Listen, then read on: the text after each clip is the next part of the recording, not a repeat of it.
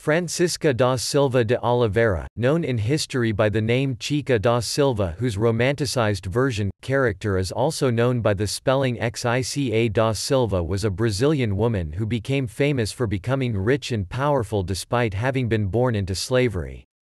Her life has been a source of inspiration for many works in television, films, music, theater and literature. She is popularly known as the slave who became a queen. The myth of Chica da Silva is often conflated with the historical accounts of Francisca da Silva de Oliveira.